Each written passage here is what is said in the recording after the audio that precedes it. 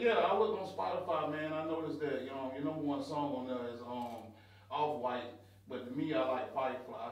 Facts. And like you, he had like an emotion to it. I can't really say, man. Like when I heard it, I listened to it like four times. I'm like, it was real, real emotional type song, man. It's dope though. It's hard. You know, um, Yeah, going through shit at that time. yeah. What, what was you going through?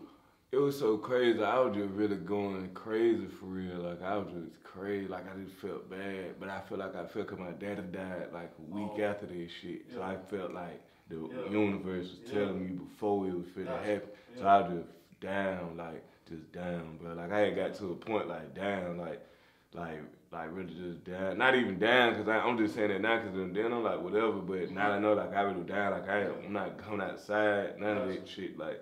I just got depressed type shit. Yeah, yeah. like with the, I feel like that shit. I had to learn shit though.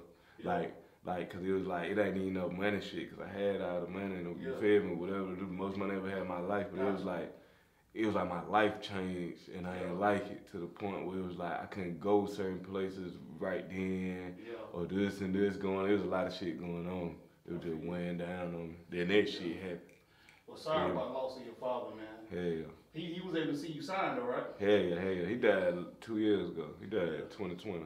Oh, okay. Well, that's good. He got to see you sign, man. Yeah. Especially since he used to do music too. Hell yeah, that was good. Yeah, Fact. real good. Yeah. yeah. Only thing he'd be like, damn, he ain't gonna see the rest of that shit though. Yeah, yeah. That wasn't really fuck, fuck with it, Yeah, fuck with me yeah. type shit. Like, it, yeah, he Yeah. died and shit, but it was like that, like, damn, he ain't gonna get to see that shit, and Yeah. he deserved to see it, but it's good, you feel me? Oh,